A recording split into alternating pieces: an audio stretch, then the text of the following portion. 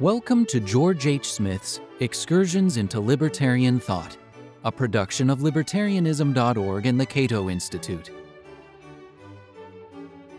John Locke Some Qualifications in Locke's Theory of Property. This essay, and the next, discusses two qualifications in Locke's theory of private property. The first is what Robert Nozick called the Lockean proviso, according to which labor establishes an exclusive right to unowned resources, at least where there is enough and as good left in common with others. The second qualification, commonly called the spoilage limitation, states that a person may not claim ownership of so many natural resources that some of them spoil before he's able to use them. The spoilage limitation arose in Locke's reply to a possible objection to his labor theory of property, namely that anyone may engross as much as he will. To which I answer, not so. The same law of nature that does by this means, labor, give us property, does also bound that property too. God has given us all things richly. 1 Timothy verse 17 is the voice of reason confirmed by inspiration. But how far has he given it us? To enjoy, as much as anyone can make use of to any advantage of life before it spoils, so much he may, by his labor, fix a property in. Whatever is beyond this is more than his share, and belongs to others. Nothing was made by God for man to spoil or destroy. The interesting thing about Locke's two qualifications is that he mentions them largely for the purpose of rebutting them. His qualifications incorporate traditional Christian claims that private property is the consequence of original sin, that it flows from the sin of avarice and generates even more avarice, and that any person who owns property in excess of what he needs to satisfy his basic needs is obligated to use that property to further the common good rather than to promote his own self interests. It is quite possible, in my judgment, that Locke included his qualifications to acknowledge the traditional objections to private property. And though Locke agreed with those qualifications in principle, he went on to show how they have little, if any, relevance to his labor theory of property. The upshot of Locke's argument is that the institution of private property is not a zero sum game in which one person's gain is another person's loss.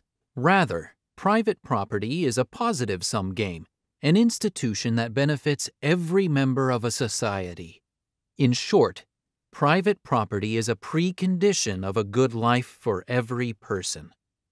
My thesis, though conjectural to some extent, is plausible given the effort that Locke invested to show how his qualifications are largely irrelevant to his labor theory of private property. Here it is necessary to understand Locke's distinction between the early stages of a society, before the introduction of money, and the more advanced stages of society, when gold became the common medium of exchange. And since much of Locke's discussion appears in his defense of the private ownership of land, we should understand his position on that topic before proceeding. Locke believed that land, like any other natural resource, requires labor to make it useful to man, and that such labor gives the laborer right to claim exclusive jurisdiction over that land.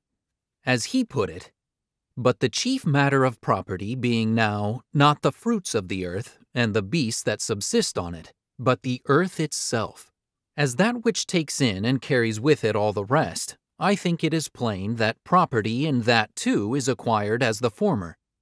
As much land as a man tills, plants, improves, cultivates, and can use the product of, so much is his property. He, by his labor, does, as it were, enclose it from the common. Nor will it invalidate his right to say, everybody else has an equal title to it, and therefore he cannot appropriate, he cannot enclose without the consent of all his fellow commoners, all mankind. God, when he gave the world in common to all mankind, commanded man also to labor, and the penury of his condition required it of him. God and his reason commanded him to subdue, i.e., improve it for the benefit of life, and therein lay out something upon it that was his own, his labor.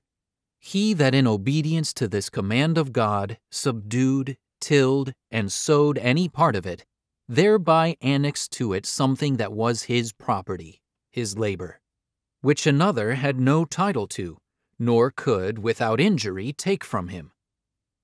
When, in the first stages of the world, people claimed the exclusive right to own parcels of land on which they had labored, they did not violate the qualification that enough land be left for others to use. A significant implication of Locke's labor theory of original acquisition is that it severely limits the amount of land that any one person may legitimately claim during the stage of original acquisition. A single person can cultivate or otherwise improve only modest parcels of land. Hence, in the early stages of social evolution, this natural limitation of labor functioned, morally speaking, as an assurance that land owned by one person would leave enough land for others. Here's how Locke put it The measure of property nature has well set by the extent of man's labor and the convenience of life. No man's labor could subdue or appropriate all, nor could his enjoyment consume more than a small part, so that it was impossible for any man this way to entrench upon the rights of another, or to acquire to himself a property to the prejudice of his neighbor, who would still have room for as good and as large a possession after the other had taken out his as before it was appropriated.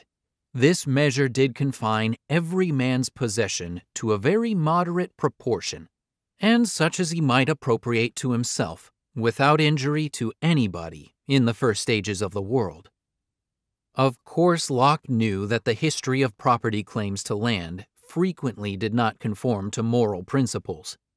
Rulers, in particular, claimed jurisdiction over huge areas of land.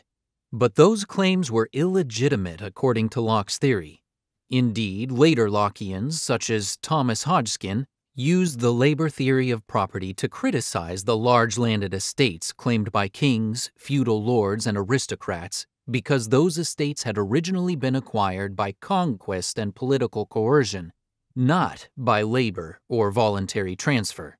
It is, therefore, exceedingly odd that Robert Nozick posed the following question in regards to Locke's theory of acquisition. What are the boundaries of which labor is mixed with? If a private astronaut clears a place on Mars, has he mixed his labor with, so that he comes to own, the whole planet, the whole uninhabited universe, or just a particular plot? How could anyone who has even skimmed Locke's discussion of property seriously ask whether his labor theory would justify a claim to own an entire planet? when the claimant had only worked a minuscule part of it. Of course, anyone is free to ask any questions about a philosophical theory.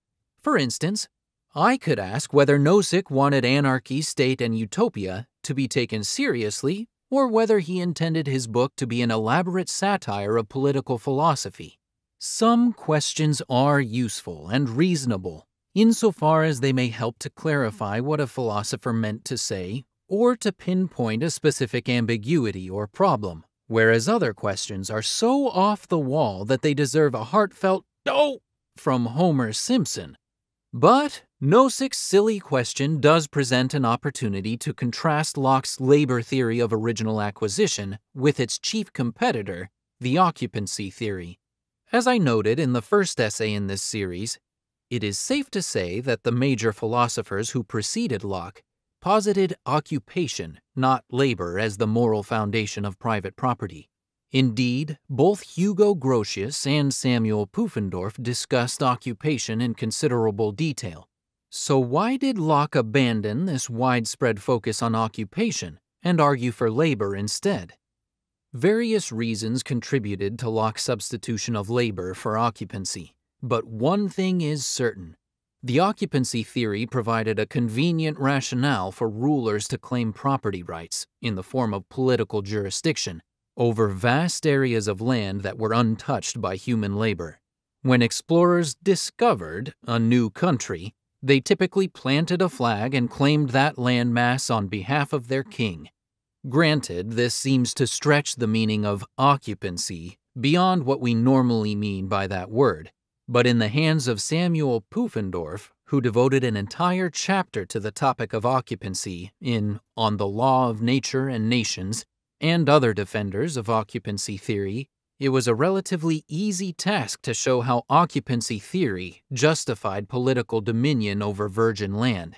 No such political rationale was available to defenders of the labor theory, however, and it is reasonable to assume that Locke had this problem in mind when developing his labor theory of property.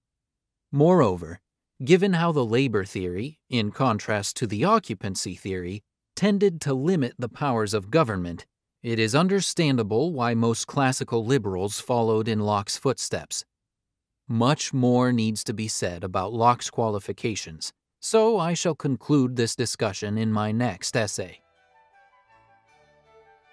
This has been Excursions into Libertarian Thought, a production of libertarianism.org and the Cato Institute.